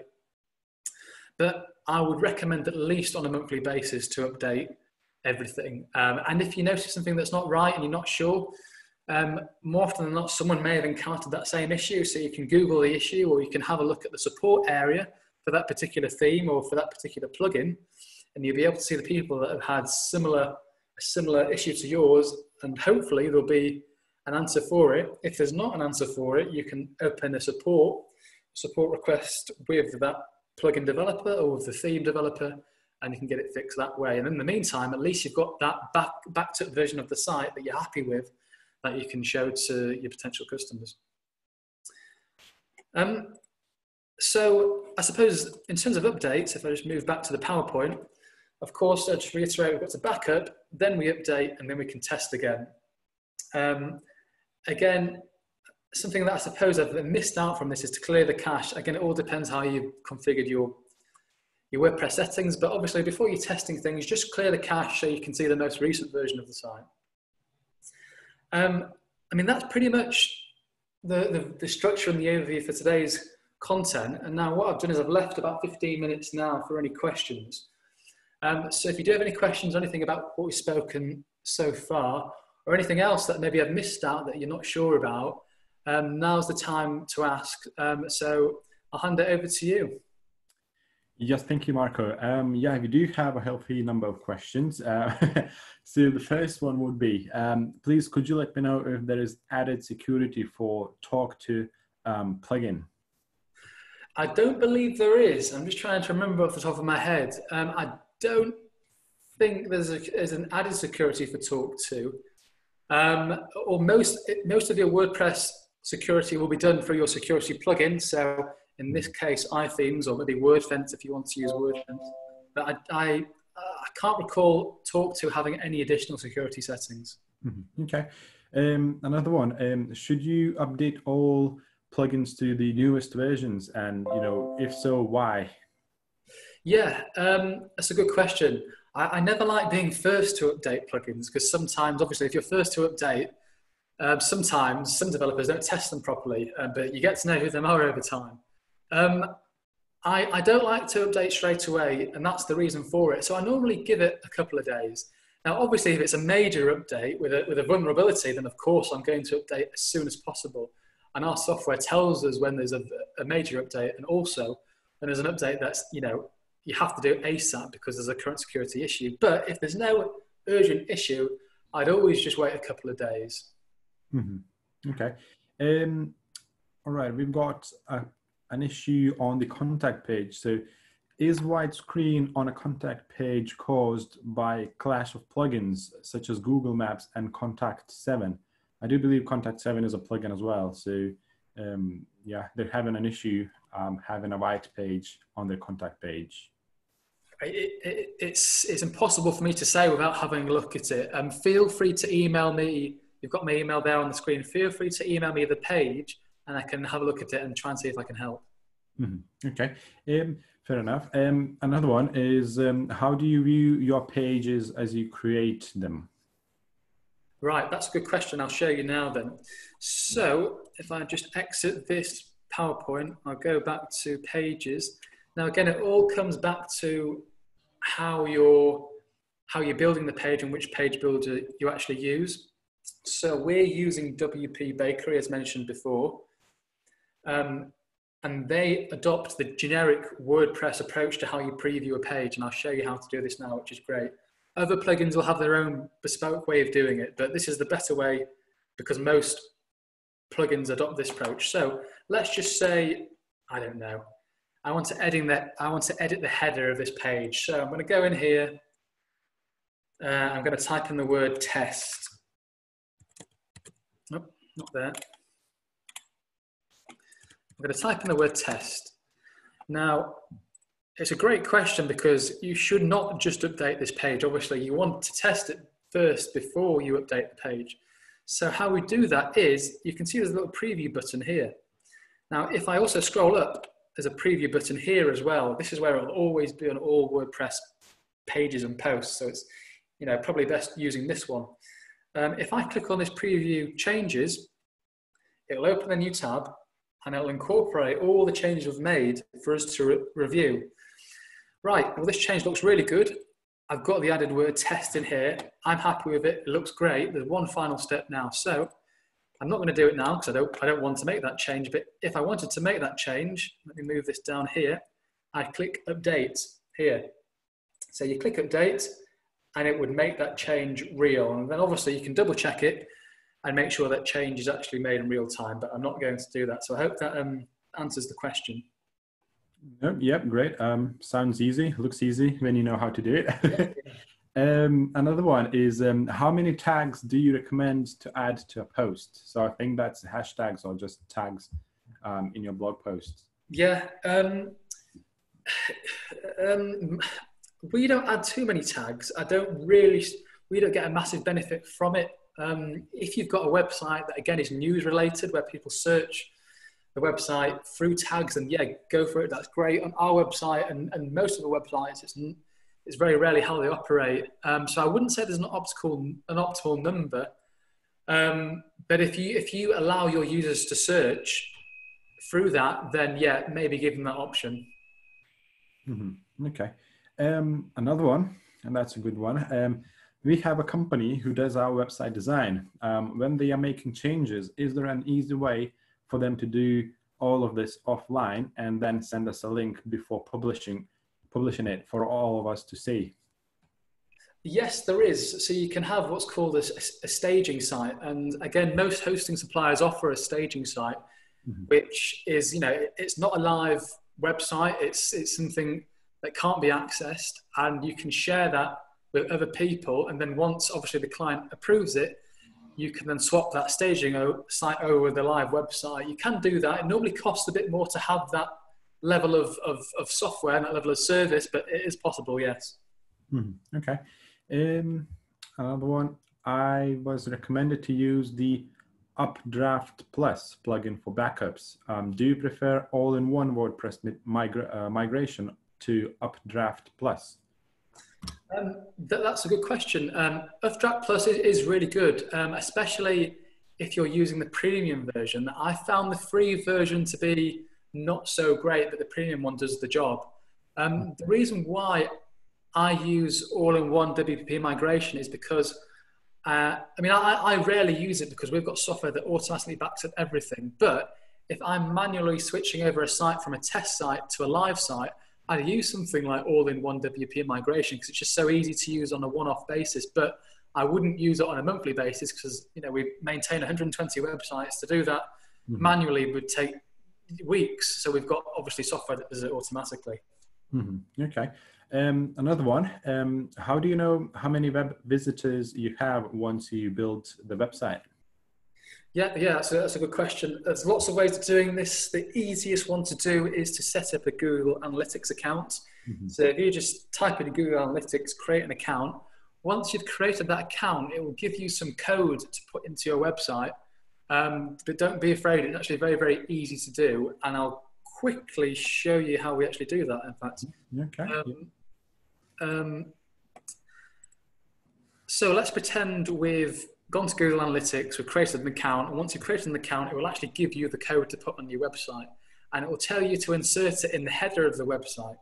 Well, there's a plugin to use, and I'm not sure if we've got it installed on our site. Uh, oh, we do. It's called Insert Headers and Footers. So if I just wait a minute and it will load up, and it allows you to add code into your header, into the body, into the footer. So as you can see right now, this is in fact the Google Analytics code. So just copy and paste the code into the header plugin here and click save at the bottom. Um, now this plugin is called Insert Headers and Footers if you want to note that down. And it's really, it's a really good shortcut. I mean, you can put it in manually if you want, but this will save you a lot of time. Okay, yeah, fair enough. Um, the last one, uh, well, at this very moment, we've got um, if you don't renew your domain, how long does it take before it becomes publicly publicly available to buy again? Ooh, that's a good question. Um, I, I, don't really know, to be honest, but um, probably a matter of days or weeks, or maybe a month maximum. I, I, w- I don't know, to be honest.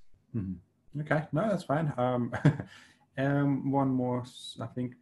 Uh, I use the Updraft Plus free version, and for some reason, it would only update to 70%.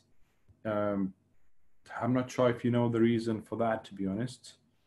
Well, that, that, that's the reason why I don't like the free version of Updraft Plus. I, have never had a good experience with it. The premium version is good, um, but the free version is always difficult. So, um, if, I'd, I'd, recommend uh, either WP or you know the all-in-one migration, or Another option is is to do a, a, hosting level, so you actually get your host to back up your WordPress site. Some of your host hosting suppliers do that. Mm-hmm. Okay, yeah, no, fair enough. Um, we've got one more. Um, my website takes a long time to load. I have lots of images, but keep most of them under 300 megabytes. Do you think it's the plugins that cause the speed issue? I have 22 plugins installed. Oh, good question. Right, I'm going to send now two links um, to, and that will tell you the answer. So let me find where the chat function is. Um, if you go to these two websites and run a speed test, it will tell you exactly what is causing your website to slow down. Mm-hmm. So the first one is called um, GTmetrix. Um, if you put pop that into Google, I've just put it in the chat now mm-hmm. and paste your website address in there, and it will tell you exactly why your website's being slow. The second one, which is also good, is Pingdom, Pingdom speed test. I normally run both of them just to see what they throw up. And the good mm-hmm. thing about them is you can run the test now, make the changes that they recommend, and then run the test afterwards, and you can actually see the difference on, and, and the impact of what your changes made. Mm-hmm. Uh, there's also there's Google there's a Google test you can use if you just type in you know Google speed test. Although it doesn't give you that much actionable data, uh, data, whereas GTmetrix and Pingdom actually give you a bit more to act on, which is great. But by the sounds of things, if you're keeping your images below 300 megabytes and you've got 22 plugins, um, I wouldn't, I wouldn't, it's, it's hard to say, but what I, would use is a plugin called Smush. S, again, I'll write it in the, um, I'll write it in the chat now. So Smush is a plugin that basically optimizes images. And again, the free version is good enough. You don't need to pay for it. And if you run that through, you'll be able to actually see, um, well, it'll, be, it'll optimize your images and you can then run the test again and see how much time you've saved. Mm-hmm. Okay. Um, we've got one more question. Um, it's from Helen. Um, I'm building a website with lots of videos. I don't want to use lots of YouTube links. Want to act, want to use actual uploads. How can I prevent the web running slowly? Oh, um, uh, from a hosting point of view, you could get a CDN. I mean, they are expensive. Um, you know, you're talking about a couple of hundred pounds a year, but it will improve your speed. Um, the, the, the thing is with video, I mean, video is great. We've got video on our site. We use it. Um, and it's really good. The, the pros of video is people stay on the page for longer, right? Which is a big, a big win in Google's eyes. But obviously, the downside to video is it takes longer to load. So it's always about getting the right balance. So make sure you've maybe got only one video maximum on each page because if there's, if there's various videos on a page, it can really slow things down. Mm. Um, but yeah, if you're looking to maximize speed at that level, I'd, I'd speak with your host. You can normally upgrade to a CDN and lots of little upgrades to basically get a faster service rather than you know the standard, um, you know, however much it is to get your standard hosting. Mm-hmm. Mm-hmm. Okay. Um, at the moment, we don't have any more questions, but before all of you go, I just want to let uh, people know that we've got our next um, webinar taking place on Monday next week, and it will be on LinkedIn Masterclass session part two, profile and target your A-list clients. So if you're looking to, you know, at improving your LinkedIn skills, this is the webinar for you. Uh, and you can book this on our website at this very moment and a follow-up link with the webinar booking um, link will be sent in the follow-up email as long as the post-webinar survey, which we would be very grateful if you could all complete it. And if you do have any more questions in the meantime, please do not hesitate to ask because we've got, you know, up until half 12, we can still be here. Well, at least I can. I'm not sure about you, Marco. but if you do have any more questions, you know, um, please please do send them across, and we'll, uh, able, we'll be able to uh, um, answer.